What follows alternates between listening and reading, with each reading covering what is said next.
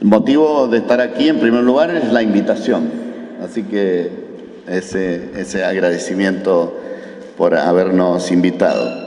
Y estar en un cargo público de la más alta investidura de la provincia eh, tiene una cierta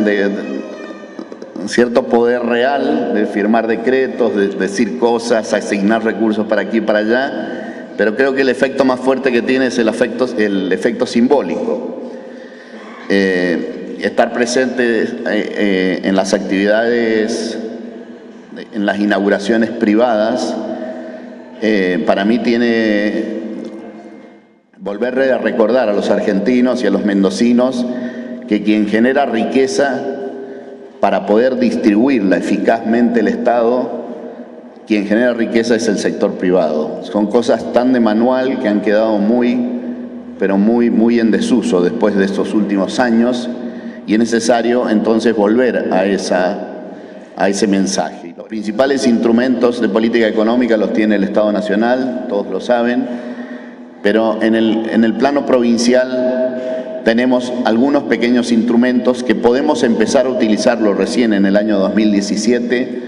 porque hemos podido empezar a sanear las dificultades que tuvimos en los años anteriores. Los dos, privados y el sector público, vamos a sacar a Mendoza adelante, al país adelante y, por qué no, también a San Rafael, a este querido departamento tan representativo de Mendoza y tan representativo del sur de nuestra provincia por su idiosincrasia por su complejidad económica, por su diversidad económica que es tan rica y que queremos aumentarla, profundizarla y mejorar todas las condiciones del sur de la provincia para que se den eh, justamente las condiciones para que prestemos mejores servicios estatales, servicios públicos masivos y por supuesto para que el sector privado cree riqueza, empleo y aumente la renta que tanto necesitamos que crezca en Mendoza.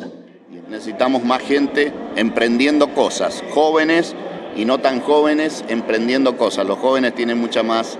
este, más, más posibilidades de mirar los procesos más de largo plazo, eh, de mediano y de largo plazo, así que a, eh, ellos apostamos. Esta gente vuelve a, San Rafael, vuelve a invertir en algo que ya conoce, que desarrolló en otra provincia y en buena hora que venga, venga aquí, son nacidos y criados en San Rafael y que vuelvan a, este lugar eh, a, producir y, generar riqueza en San Rafael.